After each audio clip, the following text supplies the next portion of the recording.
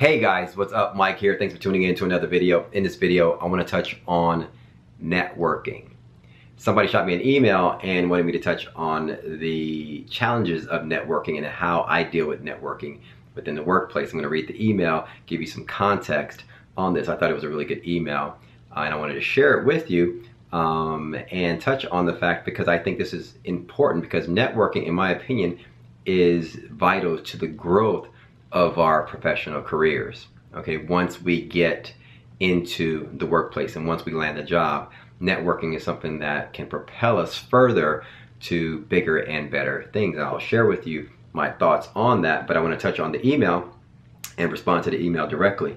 Um, let me uh, read the email really quick and just to give you some context, I'm going to keep it private, not going to say the person's name or the company that they work for.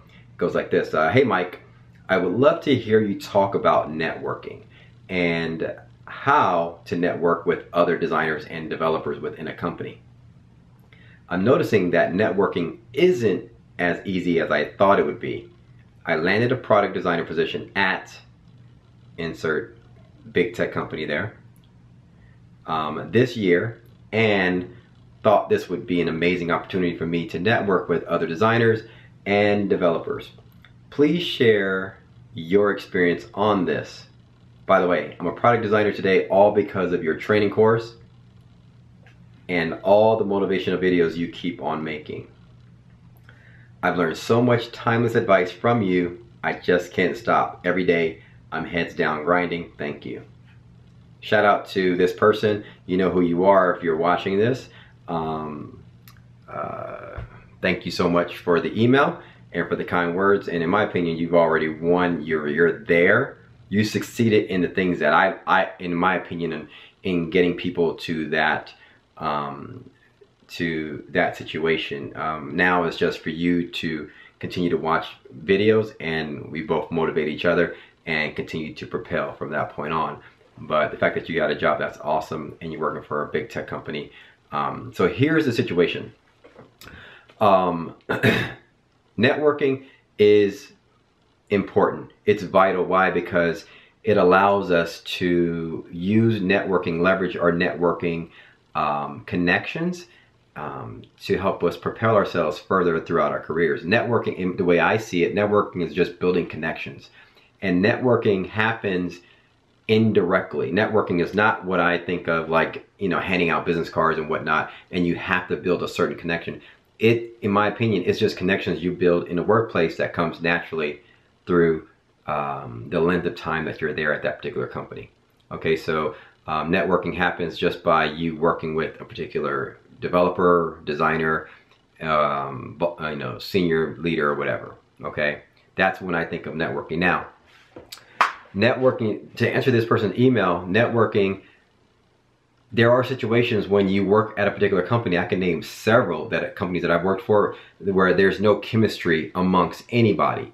There's no leader in that company that you um, look up to, that you, you feel you know is, is smarter than you and is a leader that kind of builds a connection with you. Um, you ever been to a company where you're like, like, the, the, that there's really no one that I could look up to as a mentor, that happens. but at the same time, there there are situations where when you don't build a connection with anybody, okay, that happens. You know, I've been to I've been worked for seven or eight companies now, nine companies, and there are situations where that won't happen. But then there's other situations where you do build connections, and in those other situations, I'm going to list out three different types of, of, of networking connections. One is the senior level senior level VP type of connection. These are the best connections in my opinion because when you connect with the VP or somebody that's higher up, it can be in a different department or whatever, but you somehow either work with them indirectly, you worked on a project with them, they know who you are, they ask you for certain things, they know that you can deliver on products. These VPs, these are the best type of connections to have because when they leave, when they when they go to from company to company, they tend to bring people, strong um, talent that they know to those companies. Um, uh, an experience that I've talked about several times at Fox. our VP there, Adam Bain, left Fox and went to Twitter and he brought a bunch of people over. He even called me directly on my cell phone and offered me a to lead up Twitter's um, UX um, situation when it comes in, in their ad space because at Fox we worked on the ad platform um, the advertising platform. So, but I, I turned that down because I would have had to move to to San Francisco, and I'm heavily rooted in Los Angeles. So that was a good situation there. I know another um, director at Yahoo that I worked with directly went to a startup in San Francisco. Also um, would have uh, hired me there. Um, several other VPs went to up north to San Francisco and I could have got jobs there. I work for a VP now. I met a really solid VP at, at CBS Interactive. Also, I work for someone now who is very high up at ADP and he brings over a lot of people from other past companies that he's worked with. So if he was to leave, I know he would probably offer me some. So the point here, those VPs for that particular reason is, is, is vital. Now the other two situations are, are colleagues, like um, just colleagues that you work with on, on an equal basis. You know, not someone that is higher up than you, but just someone that you work with in different departments. Develop front end developers, back end engineers, etc. The the second type of connection is just the um, the connection on LinkedIn, right? You know somebody, they give you a referral, you give them a referral on LinkedIn. If they go to another company, you have an an in, someone to give your resume to so that they can submit that resume to the company and so forth. So if you once once you build these connections over several years, you should never be out of job for like six months, right? Let's just say you happen to get laid off. Within the first month, you should have a an array of people to reach out to through email, through LinkedIn, through phone calls, you know, and text and things like that that's where those connections are vital, right? Just by meeting people, you know, I know several developers that I work with. So if they were happen to leave the company, I, they might say, I might say, you know what, I'm going to give you a referral on LinkedIn, and then they reciprocate. You know, they they they give me a referral in exchange and whatnot. You know, and so I have a built-up referral list. I haven't done it recently, but that when I was switching jobs, often uh, I would do that. The last one is amongst colleagues, and this one is for personal um, entrepreneurial reasons. And that is building when you've worked with developers, worked with front-end developers, worked with back-end developers, you meet them and you use them for your own personal um, entrepreneurial projects. I'll give you an example. Um, obviously, if you really mesh well with people, you had Elon Musk, right? Him and his partner at PayPal that left PayPal and went on to do bigger, better things. Two, two, um, two friends built MySpace. Obviously, um, Mark Zuckerberg and his friends in in college built Facebook as Mark Zuckerberg was the um, the leader of that, but he had a lot of other friends who helped him propel um, uh, that that that app. in my case, at some point over the next three years or so, I'm going to be building a business app. I don't have uh, the exact idea yet, and I haven't committed to it because I have so much on my plate.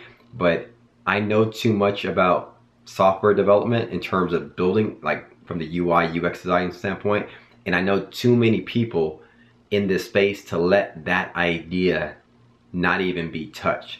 So at some point in the next one to three years, I'm going to be building my own business app software as a service type of app potentially um, or some type of app and I'm going to leverage people that I know.